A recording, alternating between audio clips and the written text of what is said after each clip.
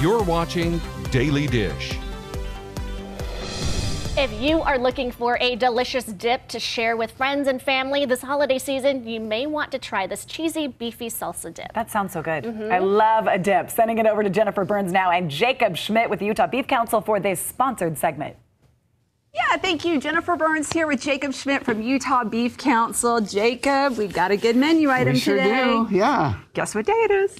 Um, comfort food day, maybe. National Comfort Food Day today. Like we need an excuse, but Right, we've got one right. today, and we've got a great recipe for you to maybe partake in on this Yeah. on this delicious day. We were we were just saying that any day, you know, is comfort Any food could day, especially yeah. once the weather starts to get cold like It's, this. I know Yeah, exactly. You want to warm up. So what we're making today is a fun dish. It's also a great game day idea, um, which is a cheesy beef dip.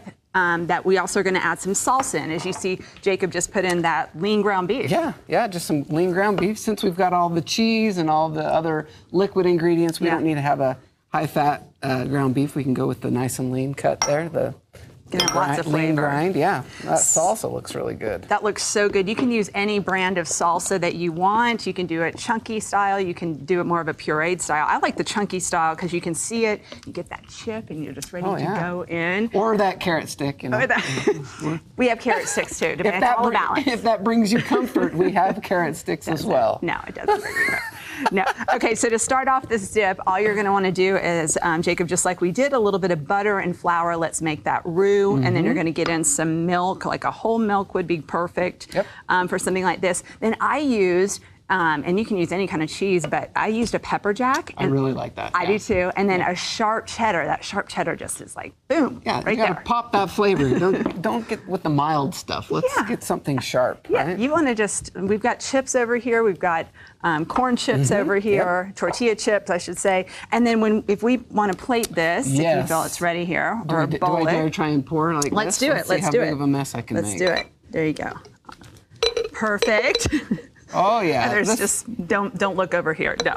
that is a big bowl. That's bowl. perfect. There I'm going to go. set it right here. You could add a little bit of extra salsa right now if you wanted to. Mm-hmm. yeah. And then what I'm going to top it with is you can do something like um, like any kind of maybe like a Mexican cheese Mm-hmm. or something like that if you wanted. You could even do like a feta if you wanted on top. Yeah. And then a little cilantro. So Look at that. look at that. We eat with our eyes first, Jacob. Yes. Perfect. You take the corn chip and I'll take the celery stick. Uh, deal. That is a deal.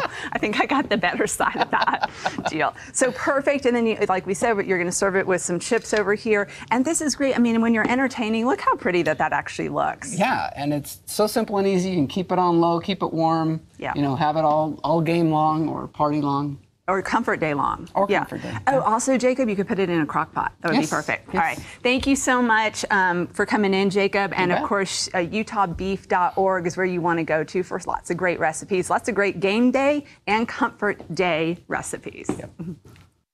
Oh, nice job, you two. That looks so good. I would make that. Yes, We that's should great put for a that party. together. Yeah. I love that. Okay, now.